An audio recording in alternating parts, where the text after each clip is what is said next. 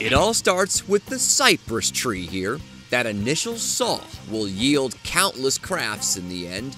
Your vision will determine the exact output. A new dining room table? How about a swing for your patio? Maybe some animal art crafted by chainsaw.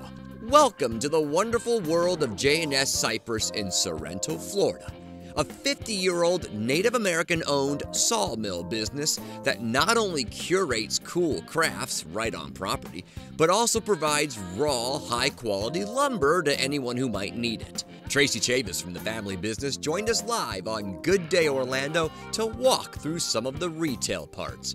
First thing you'll notice coming in the smell. It's simply sensational. Uh, you make all this furniture pretty much out of cypress. That's the primary product. We do. Yeah. Like for example, this is a garbage can. I might a put this in my can. kitchen, right? Yes. I see. Uh, I see way back in the back a bunk bed I might get for the kiddos. Yes. Right. On the left there, next to Paolo, a gun rack.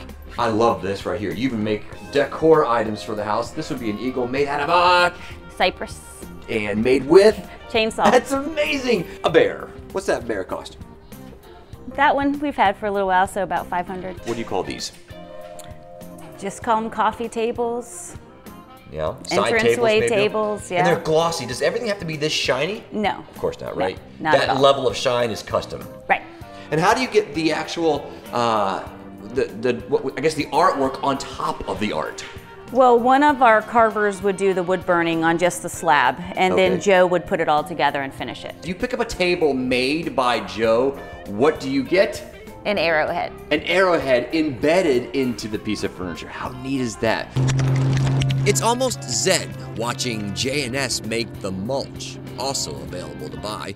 The driftwood collection is naughty and nice. Look at what sanding it does. It looks like something here on the wall, right? Yes. Look at that, a 3D fish for $2.95. It's shiny, it's brown, it's kind of red. Yes. Cedar, it's cedar. looking? Yeah, there you go. Mm-hmm. J&S along Cypress Mill Road is open every day except Sunday. CypressThings.com is the site to log on to for more info. In Lake County, David Martin, Fox 35 News.